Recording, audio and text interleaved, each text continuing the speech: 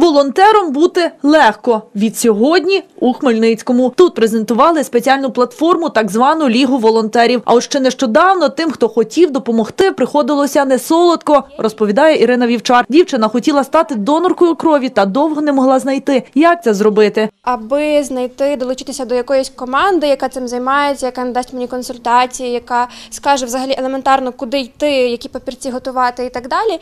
Я перерила дуже багато сайтів в інтернеті. Я знайшла дуже різноманітні платформи. Одні з них інформаційні, але не допомагають з комунікаціями. Одні навпаки залучають людей, але не допомагають їм інформаційно і так далі. Тобто, це все так трошки було не централізовано. Було незручно і пошук займав надто багато часу.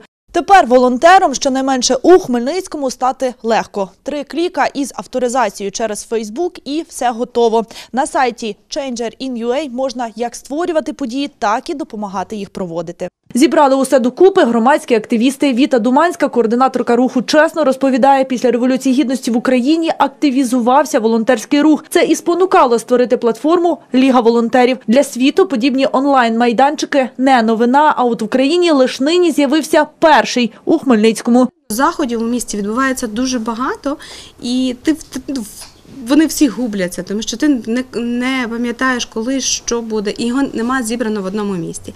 А в цьому випадку ви зможете бачити всі важливі події, які відбуваються в Хмельницькому, в одному місті. І це буде доволі зручно і інформативно. А активних хмельничан немало. Є навіть створена база волонтерів. Та все рівно знайти безкорисливих добродіїв, аби вони відповідали критеріям того чи іншого заходу, непросто, зізнається міський голова.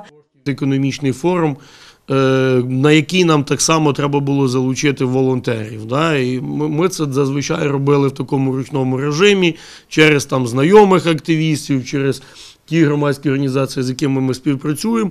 Тепер, е, скажімо так, ми маємо для того окрему інтернет-платформу. За інформацією слідкуватимуть, представники міської ради модеруватимуть сайт, аби не було зловживань. А ще найкращих волонтерів заохочуватимуть сувенірною продукцією і не тільки.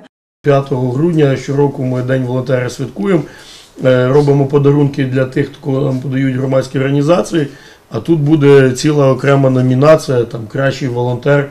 Проекту волонтером бути легко, чи три кращих волонтери, чи п'ять кращих волонтерів. Тобто це вже в процесі функціонування все буде робитися.